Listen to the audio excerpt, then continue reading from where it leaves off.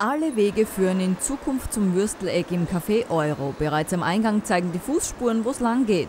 Neben Getränken zum Mitnehmen gibt es ein umfangreiches Würstelangebot. Der Grund für die Eröffnung des Würstelecks lag auf der Hand.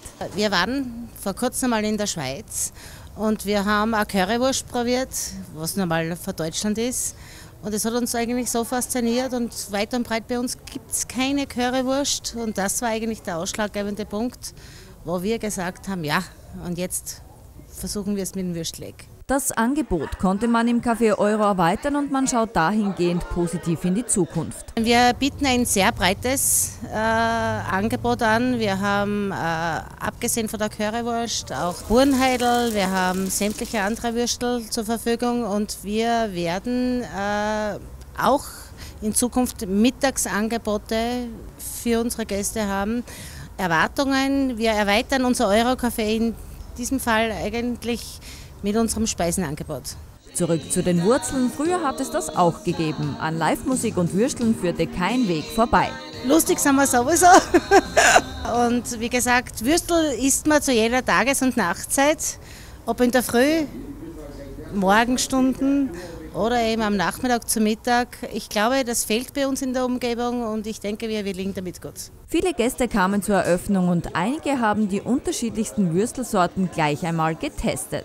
Mm, die Würsteln sind erstklassig gut und mich freut es, dass heute hier beim Eurocafé als Würsteleck eröffnet wird und, und ich hoffe, dass das einen großen Anklang in Kapfenberg findet. Welche zwei Würstelsorten haben Sie probiert? Äh, zwei verschiedene Currywürstel eins mit normaler Sauce und eins mit der Spezialsauce von der Chefin. Trotz dichtem Terminkalender ließ es sich auch der Bürgermeister nicht nehmen, auf eine Steppvisite ins Würsteleck vorbeizuschauen. Ganz nach dem Motto, die Currywurst erobert Kapfenberg. Ich weiß ja nicht, ob es nur die Currywurst ist, aber insgesamt gibt es ja viele Wurstorten hier. Freue mich aber auch, dass die Currywurst hier gibt und das ist eine neue Idee. Und äh, ich glaube, der Bobby und die Carol werden das perfekt machen. Freue mich. Hat das gefehlt? Weil es kommt ja eigentlich aus der guten alten Zeit. So einen typischen Würstelstand gibt es ja eigentlich gar nicht mehr. Es gibt ihn schon, aber nur mehr sehr sporadisch. Aber ich glaube, dass Sie sich erinnern, gerade am Frechaner Platz eine ideale Ergänzung ist weil das haben wir bis jetzt hier direkt noch nicht gehabt.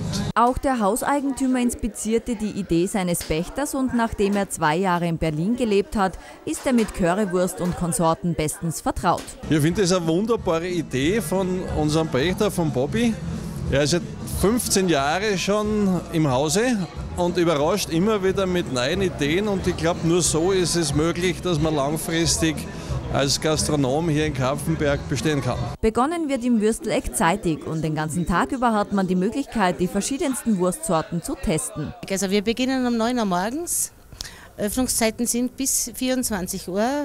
Das Würsteleck bietet seine Speisen von 11 bis 22 Uhr an und Sonnenfeiertag natürlich auch. Den Biss in den Morgengrauen, nicht zu verwechseln mit der Vampirsaga, hat man im Würsteleck übrigens auch, wenn eine Veranstaltung dann doch einmal länger dauern sollte.